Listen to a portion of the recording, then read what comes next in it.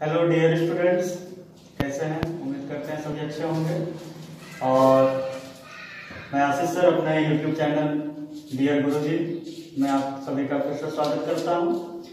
तो आज मैं आप लोगों के सामने लेकर के आया हूँ मोशन चैप्टर पार्ट थ्री इसके पहले दो पार्ट में आपने मेरे वीडियोस देख लिए होंगे।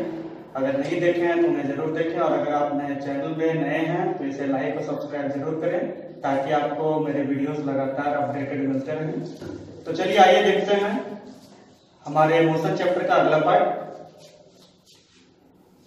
Part three.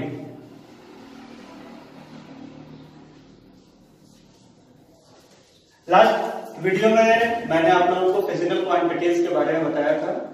आज हम लोग आगे चलेंगे फ़िज़िकल क्वांटिटी के बाद मोशन चैप्टर का जो पहला टॉपिक है रेस्ट एंड मोशन तो सबसे पहला पॉइंट है rest what is rest rest क्या है? Rest that means anybody which can't change its place और position with respect to time और रेफरेंस पॉइंट कोई भी बॉडी अगर रेफरेंस पॉइंट या समय के साथ अपने प्लेस पोजीशन को चेंज नहीं करता। है वो जहाँ है, वही बना हुआ है। उसके प्लेस और पोजीशन में कोई वेरिएशन कोई चेंजेस नहीं हो रहे हैं। तो ऐसा माना जाएगा कि वो बॉडी रेस्ट में है। और इसका ठीक उल्टा मोशन क्या है मोशन तो मोशन करता है, when anybody changes its place or position with respect to its surrounding reference point with time कोई बॉडी अगर अपने सराउंडिंग के रिस्पेक्ट में रेफरेंस पॉइंट के रिस्पेक्ट में टाइम के साथ साथ अगर अपना प्लेस और पोजीशन चेंज करता है, अपना लोकेशन चेंज करता है तो ये माना जाएगा कि वो बॉडी मोशन में है, उसकी पोजीशन चेंज हो रही है। दैट मीन्स हमने रेस्ट में क्या देखा? पोजीशन में नो चेंज मोशन पोजीशन में चेंज हो रहा है। एक तरह से समझने के लिए हम कह सकते हैं कि रेस्ट एंड मोशन ये दोनों एक ही सिक्के के दो पहलू हैं। जिस तरह से एक सिक्के के एक साइड हेड और एक साइड टेल होता है, सिक्का एक ही है, उसके एक साइड हेड है, एक साइड टेल है। सिमिलरली हम ये कह सकते हैं कि रेस्ट और मोशन दोनों एक ही सिक्के के दो पहलू हैं। एक साइड रेस्ट है तो उसके अपोजिट साइड मोशन है। दैट मीन्स बॉडी अगर रेस्ट में है तो मोशन नहीं हो सकता, और अगर मोशन है तो रेस्ट नहीं हो सकता नॉर्मल केस में।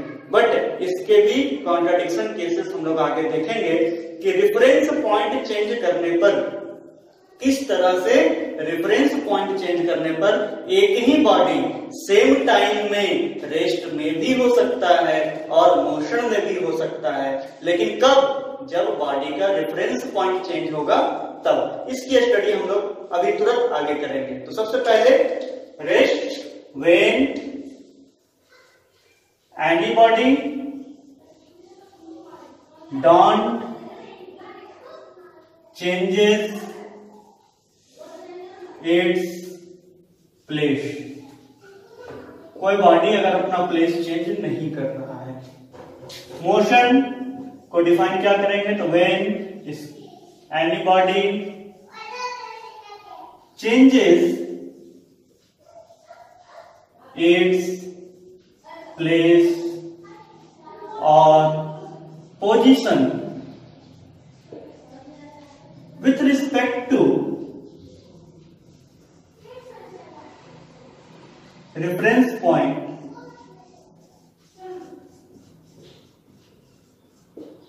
or with time then it is said to be in motion कोई बॉडी अगर अपना प्लेस और पोजीशन चेंज करता है with respect to time with respect to it surrounding reference point तो ये माना जाएगा कि वो बॉडी मोशन में है। इसके डेली लाइफ में बहुत सारे एग्जांपल्स हैं। आप सुबह उठने से लेकर के रात सोने तक अपने सराउंडिंग में जितनी भी चीज़ें देखते हैं, आपको बहुत सारी चीज़ें दिखेंगी। जो रेस्ट में है, बहुत सारी चीज़ें दिखेंगी जो मोशन में है। आप सुबह उठते हैं और रात तक सोते हैं। इस बीच में आप अनगिनत times infinite number of times motion कर चुके होते हैं अलग अलग रेफरेंस पॉइंट के कंपेयर में। कोई गाड़ी चल रही है मूव कर रही है तो हम कहेंगे कि वो बॉडी मोशन में है, वो अपना प्लेस और पोजीशन चेंज कर रहा है। तो इस तरह से हम देखते हैं कि अपने डेली लाइफ में लार्ज नंबर ऑफ़ टाइम्स ऐसे मिलेंगे आपको लार्ज नंबर ऑफ़ बॉडीज ऐसे मिलेंगे जहाँ पर आप मोशन में खुद को देखते हैं, कभी सामने बॉडीज को देखते हैं जो अपना प्लेस और position continuously with respect to different reference point change कर रहा होता है। अब आता है कि मोशन है तो मोशन के कितने टाइप्स है? What are the types of motion उसमें आने से पहले हम ये समझेंगे कि यहाँ पर एक टर्म आया है रेफरेंस पॉइंट ये रेफरेंस पॉइंट क्या है? व्हाट इज़ रेफरेंस पॉइंट अभी मैंने कहा कि रेफरेंस पॉइंट के रिस्पेक्ट में कोई बॉडी का प्लेस और पोजीशन अगर चेंज हो रहा है तो वो मोशन में है। तो रेफरेंस पॉइंट क्या है? तो सबसे पहले हम देखेंगे रेफरेंस पॉइंट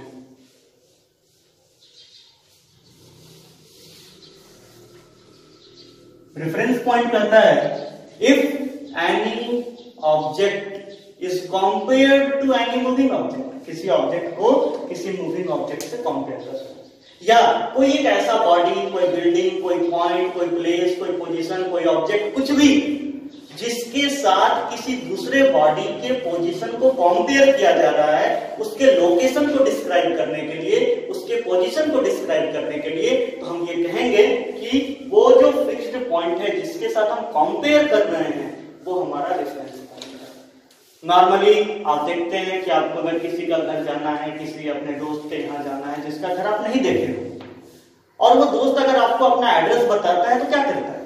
आपको अपने घर के आसपास का कोई ना कोई एक लैंडमार्क बताता है। हाँ भाई, मेरा घर कहाँ है? तो इस मोहल्ले में गली नंबर इतना में एक मोबाइल टावर है, उस मोबाइल टावर के बगल में मेरा घर। उसने क्या किया? अपना घर का लोकेशन को मोबाइल टावर के साथ कनेक्ट किया। मोबाइल टावर से आपको लोकेट किया, जहाँ से आपको इंडिकेशन मिलता है, उसके लोकेशन का डिस्क्रिप्शन मिलता है, उसके लोकेशन का एग्जैक्ट इंडिकेशन आपको समझ में आता है। सिमिलरली आप कहीं भी जाते हैं इस तरह के एक लैंडमार्क ढूंढते हैं? अगर आपको कोई जगह ढूंढनी होती है तो आप उसके आसपास का एक लैंडमार्क ढूंढते हैं, उसके लैंडमार्क का पता लगाते हैं और उसके बाद उस जगह पर पहुँच जाते हैं। तो वो लैंडमार्क क्या कर रहा है? उस पार्टिकुलर जगह को डिस्क्राइब कर रहा है। उस पार्टिकुलर जगह को लोकेट कर रहा है। सिमिलरली यहाँ पर रेफरेंस पॉइंट एक ऐसा पॉइंट है, एक ऐसा ऑब्जेक्ट है, एक ऐसा बॉडी है, जो किसी भी दूसरे बॉडी के मोशन को डिस्क्राइब कर रहा है, किसी भी दूसरे बॉडी के पोजीशन को डिस्क्राइब कर रहा है, किसी भी दूसरे बॉडी के एग्जैक्ट लोकेशन को डिस्क्राइब कर रहा है तो उस फिक्स पॉइंट को जिसके साथ कंपेयर किया जा रहा है, उसे हम कहेंगे रेफरेंस पॉइंट डिफाइन कर सकते हैं, बहुत ही सिंपल डिफाइन है ए पॉइंट और ऑब्जेक्ट ए पॉइंट और object which is used to locate or describe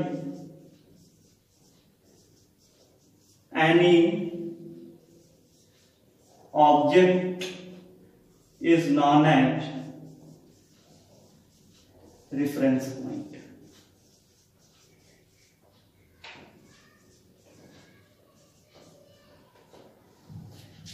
कोई भी ऑब्जेक्ट जिसके साथ हम किसी दूसरे ऑब्जेक्ट को लोकेट कर रहे हैं या उसको डिस्क्राइब करने में हेल्प कर रहा है, वो हमारा क्या है? रेफरेंस पॉइंट है। अब यहाँ पे क्वेश्चन खड़ा होता है, क्या रेफरेंस पॉइंट ऑलवेज स्टेशनरी होगा? नहीं। रेफरेंस पॉइंट स्टेशनरी हो, ऐसा ज़रूरी नहीं है। वो अलग अलग रिस्पेक्ट में मोशन में भी हो सकता है। वो किसी दूसरे बॉडी के रिस्पेक्ट में मोशन में हो सकता है। फॉर एग्ज़ाम्पल और ये भी आप कर सकते हैं कि एक ही बॉडी एक ही ऑब्जेक्ट एक साथ अलग अलग कंडीशन में रेस्ट में भी हो सकता है मोशन में भी हो सकता है। जैसे आप बस में बैठे हो। अगर बस में बैठे हो तो बस की ड्राइवर सीट के साथ अगर पोजीशन को कंपेयर करते हैं तो ड्राइवर की सीट से आपकी सीट के बीच का जो डिस्टेंस है वो ऑलवेज को उसमें तो कोई वेरिएशन हो नहीं रही है। एज इट इज़ बना हुआ है। चाहे वो बस 10 किलोमीटर का डिस्टेंस ट्रेवल करे 50 किलोमीटर का डिस्टेंस ट्रेवल करे, या 500 किलोमीटर का डिस्टेंस ट्रेवल करे, अगर आपने अपनी सीट चेंज नहीं की है तो ड्राइवर की सीट और आपके सीट का डिस्टेंस जो है वो कांस्टेंट बना हुआ है। दैट मीन्स बस ट्रेवल कर रही है but with respect to the seat of driver driver seat के रिस्पेक्ट में आपने अपना पोजीशन चेंज नहीं किया। इस सिचुएशन में ड्राइवर सीट को हमने रेफरेंस पॉइंट माना है। इस सिचुएशन में ड्राइवर सीट को हमने रेफरेंस पॉइंट माना है और उसके रिस्पेक्ट में हमारे पोजीशन में कोई वेरिएशन नहीं हो रहा है। दैट मीन्स हम रेस्ट में हैं। हम रेस्ट में हैं किसके रिस्पेक्ट में? ड्राइवर सीट के रिस्पेक्ट में। बट बस मूव कर रही है किसके रिस्पेक्ट में? बस के बाहर के किसी भी ऑब्जेक्ट के में बस के बाहर का कोई भी ऑब्जेक्ट आप सपोज़ कर लीजिए, देख लीजिए, चाहे वो बिल्डिंग हो, पेड़ पौधे हो, या कोई अदर अपार्टमेंट्स हो, कोई फैक्ट्री है, कोई भी ऑब्जेक्ट है रोड के किनारे का कोई इलेक्ट्रिक पोल है, या कोई एनी अदर ऑब्जेक्ट रोड पर चलती हुई कोई दूसरी व्हीकल है, कोई दूसरी गाड़ियाँ हैं तो उसके रिस्पेक्ट में या बाहर कोई आदमी खड़ा है, कोई ऑब्जेक्ट लोकेटेड अब कर सकते हैं तो बस के बाहर के किसी भी ऑब्जेक्ट के कंपेयर में आपका बस मोशन में है, क्योंकि बस के बाहर के ऑब्जेक्ट्स के रिस्पेक्ट में आपकी पोजीशन विथ बस चेंज हो रही है। बस के साथ साथ आपका पोजीशन आपका प्लेस चेंज हो रहा है तो ये कहा जाएगा कि आप मोशन में हैं।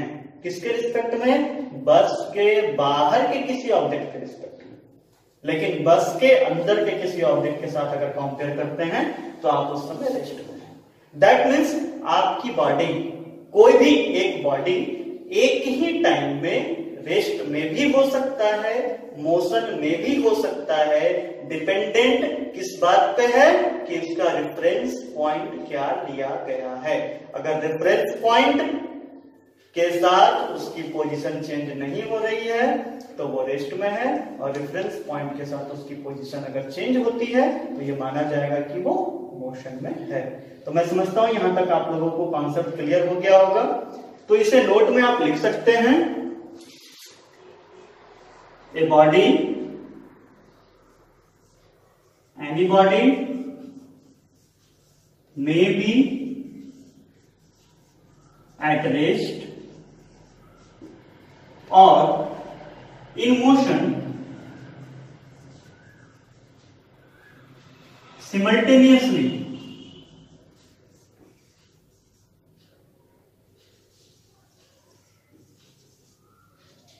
due to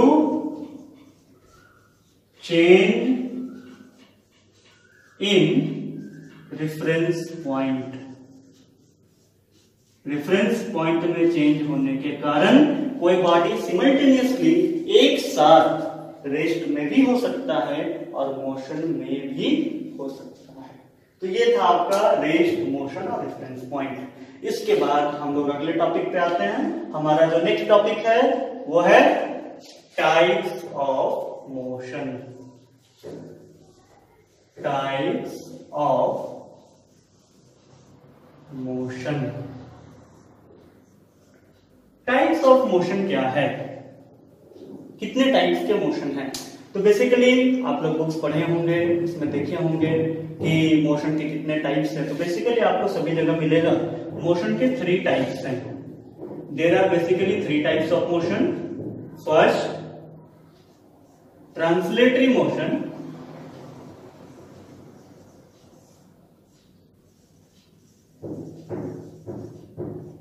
Second, circular motion. And third,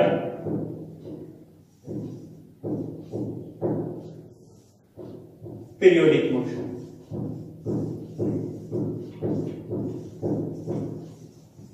अब सबसे पहले हम चर्चा करेंगे ट्रांसलेटरी मोशन की कि भाई ट्रांसलेटरी मोशन है क्या what do you mean by translatory motion translatory motion क्या है आप लोगों ने इसके बारे में स्टडी किया होगा तो इसमें आपको देखने को मिलेगा कि translatory motion that means if any body changes its place और पोजिशन और in motion along a straight path, in a one dimensional path, एक सीधी रेखा में वन डायमेंशन में कोई बॉडी अगर ट्रेवल कर रहा है मूव कर रहा है तो ये माना जाएगा कि वो बॉडी ट्रांसलेटरी मोशन कर रहा है।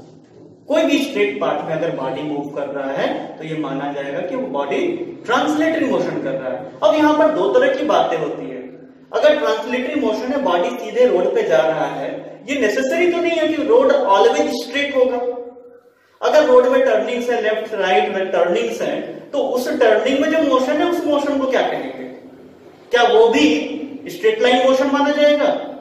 तो यहाँ पर ट्रांसलेटरी मोशन को फिर से दो सब ग्रुप्स में डिवाइड किया गया है। ट्रांसलेटरी मोशन को अगेन दो सब ग्रुप्स में डिवाइड किया गया है।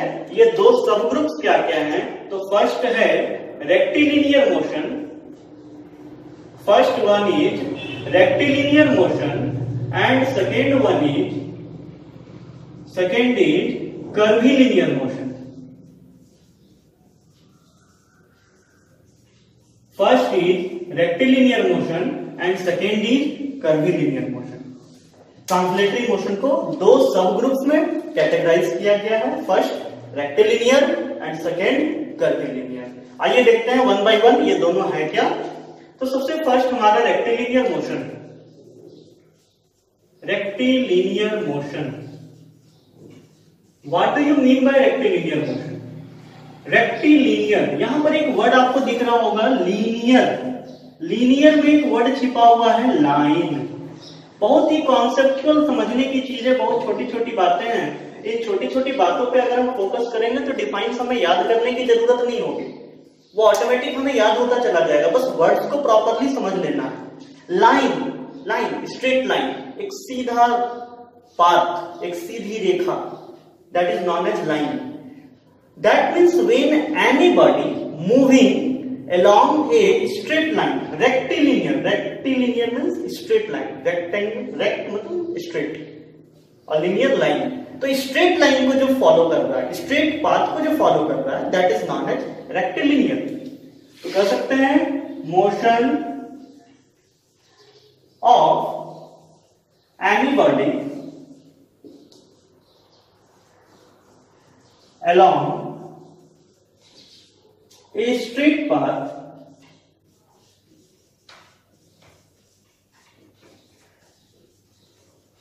is known as or termed as rectilinear motion.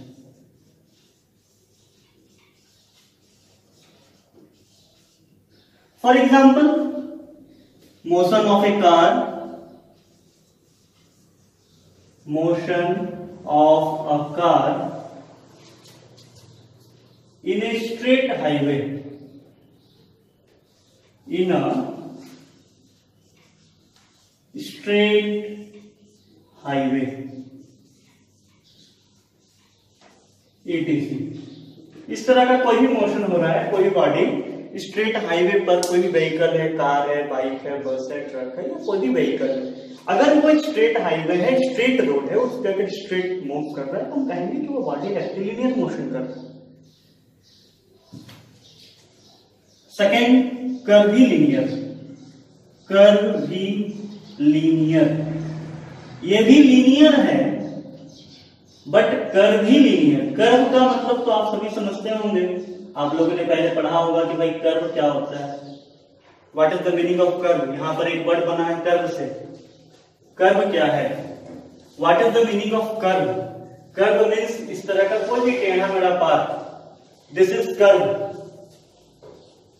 this is curve इस तरह का कोई भी पाथ है जो टेढ़ा मेढ़ा पाथ है, ये कर्व लाइन का रहा है कर्व पाथ माना जा रहा है। अब ये कर्व पाथ के अलावा लीनियर भी है और कर्व भी है। दैट मीन्स एक स्ट्रेट लाइन में वन डायमेंशन में मोशन कर रहा है और वो कर्व पाथ को फॉलो कर रहा है। वन डायमेंशनल मोशन कर रहा है और वो गर्भपात को फॉलो कर रहा है। तो such type of motion of any body is known as curvilinear motion such type of motion of any body is known as curvilinear motion that means motion of any body along a curve path is known as curvilinear motion. Example normal daily life में हम जिस path को follow करते हैं travel करने के लिए, कोई गाड़ियाँ नॉर्मल रोड पे जो चल रही है ऑलवेज रोड स्ट्रेट तो होता नहीं है। कर्व है लेफ़्ट टर्न है राइट टर्न है, इस तरह के जो पाथ्स हम फॉलो करते हुए ट्रेवल करते हैं तो normal day to day life में जो पाथ हम ट्रेवल कर रहे हैं, वो कर्वीलिनियर मोशन को रिप्रेजेंट करता है दैट मीन्स हम लोग normally day to day life में कर्म पाथ को फॉलो करते हुए आगे बढ़ते हैं। Is it clear rectilinear along a strictly straight path बिल्कुल सीधा line no turns no curve and curvilinear motion one dimensional motion in which we travel along a curve path it is also linear but along a curve path so it is known as curvilinear motion day to day life में हमारा जो motion है वो curvilinear motion है। अब हम लोग आगे आते हैं। हमारा जो नेक्स्ट पॉइंट है सर्कुलर मोशन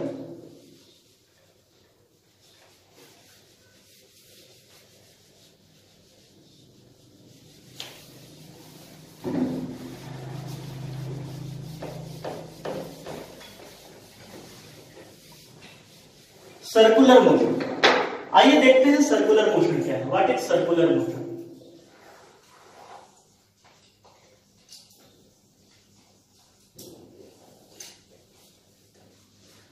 यहाँ पर एक वर्ड आपको दिखाई पड़ रहा है। कॉमन सा वर्ड है। आप सभी जानते हैं सर्कल सर्कल का मतलब क्या होता है? गोल वृत्त इसको हिंदी में कहते हैं। गोल या वृत्त सर्कुलर दैट मीन्स कोई भी बॉडी एक सर्कल के अलोंग या तो मूव कर रहा है या खड़ा है। Then circular motion when body travels along a circular path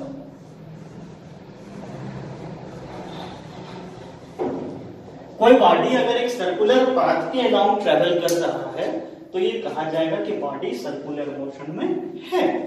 अब सर्कुलर पाथ में भी कुछ बातें आती हैं। आपने एक सर्कुलर मोशन देखा होगा, पंखे को घूमते हुए। आपने देखा होगा, गाड़ी के पहिए को घूमते हुए, चक्के को घूमते हुए। तो दोनों में सर्कुलर मोशन हो रहा है। आपने ये भी सुना होगा कि हमारा जो अर्थ है, या जितने भी प्लैनेट्स हैं, वो सन के चारों तरफ़ घूम रहे हैं सन के चारों तरफ़ मोशन कर रहे हैं।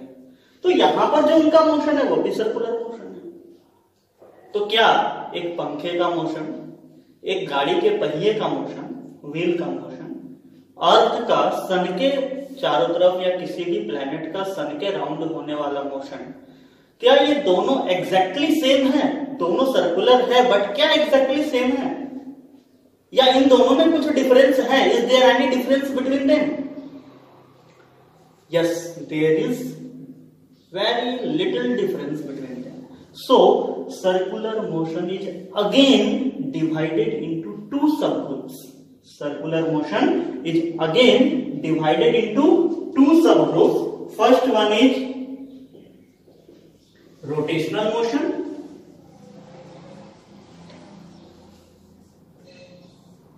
And second one is revolutionary motion.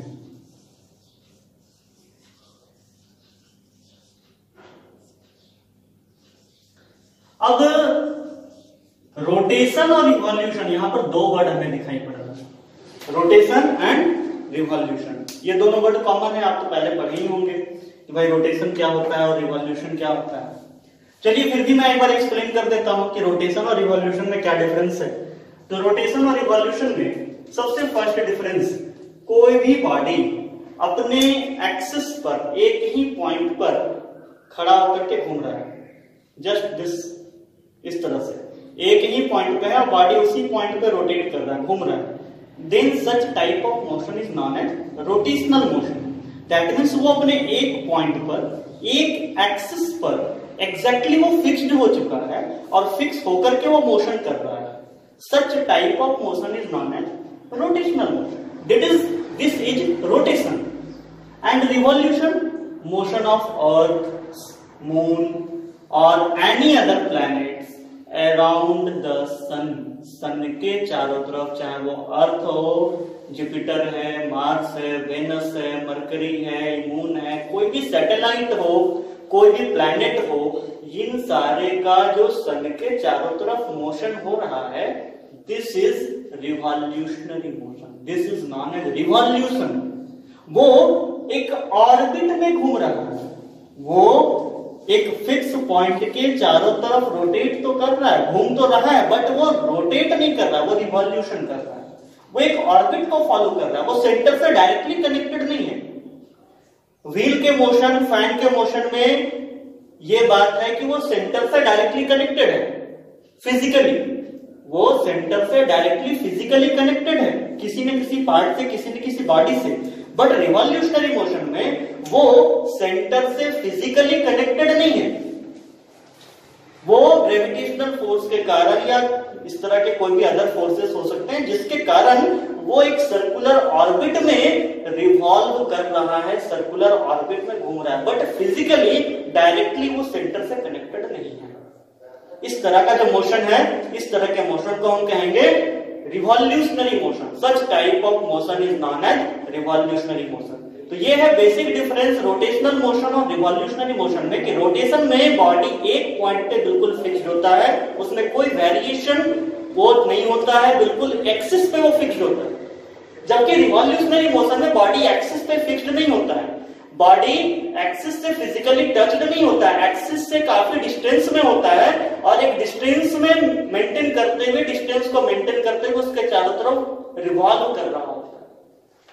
Such type of motion is known as revolutionary motion तो दोनों को आप आराम से डिफाइन कर सकते हैं। Rotational motion the motion of any object in its axis अपने ही एक्सिस पर जो मोशन हो and revolutionary motion the motion of any object around any object in a orbit which is not physically in touch with the centre वो centre के साथ physically touch में नहीं है।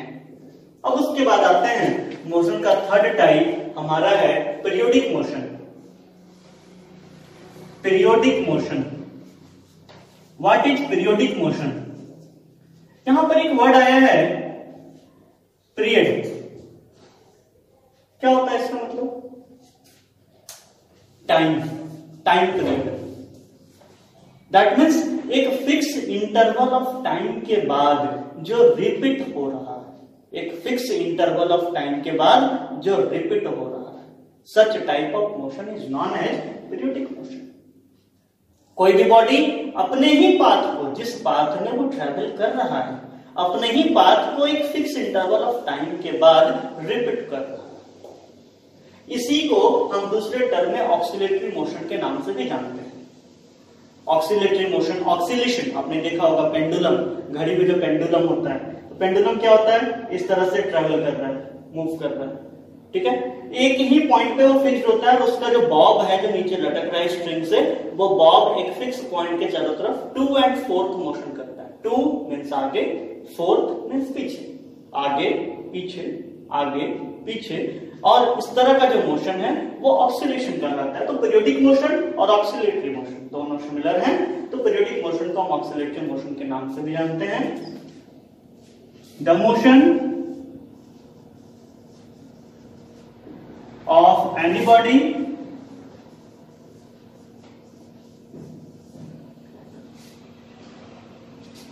in which it repeats its path repeats its path after a regular interval of time after a regular interval of time is known as is known as periodic motion is known as periodic motion examples motion of swing झूला, जो आप लोग झूला झूलते हैं, वो क्या है? पीरियोडिक मोशन है। मोशन ऑफ़ पेंडुलम पेंडुलम का जो मोशन है, वो क्या है? पीरियोडिक मोशन है। Motion of needle of sewing machine सिलाई मशीन आप लोग देखे होंगे ज़रूर। तो सिलाई मशीन का जो निडिल होता है, जब वो सिलाई मशीन रन कर रही है, चल रही है तो सिलाई मशीन का जो निडल आप लोगों ने देखा होगा कि वो up down up down up down एक ही पाथ को रिपीट कर रहा है। Such type of motion is also known as periodic motion जो अपने ही पाथ को बार बार एक रेगुलर इंटरवल ऑफ़ टाइम के बाद रिपीट कर रहा है such type of motion is known as periodic motion तो ये था हमारा टाइप्स ऑफ़ मोशन उम्मीद है कि आप लोगों को यहाँ तक समझ में आया होगा। वीडियोस अगर आपको अच्छे लगे तो लाइक करना ना भूलें लाइक करें कमेंट करें, और अगर आप नए हैं हमारे चैनल में तो सब्सक्राइब ज़रूर करें, और अपने दोस्तों के साथ शेयर करें। Thank you